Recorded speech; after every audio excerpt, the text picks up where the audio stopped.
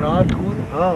ये BBC London वालों को भेजना है एक बीबीसी लंदन वालों को एक भेजना है कैसे कैसे। तो पता ही नहीं है अध्यात्म क्या चीज़ है किसी को भी। अध्यात्म को कोई जानता ही नहीं सब गड़बड़ के काम करते हैं।